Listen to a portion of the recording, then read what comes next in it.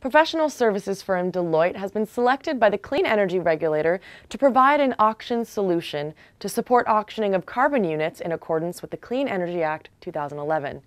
Deloitte's solution will incorporate software from Victorian technology developer TradeSlot. Deloitte will provide an auction solution to support this critical component of the flexible price period. Deloitte was selected following an open request for tender, and the project will be led by Branko Panic, a partner in Deloitte Consulting's technology practice. For the complete article, please go to big4.com.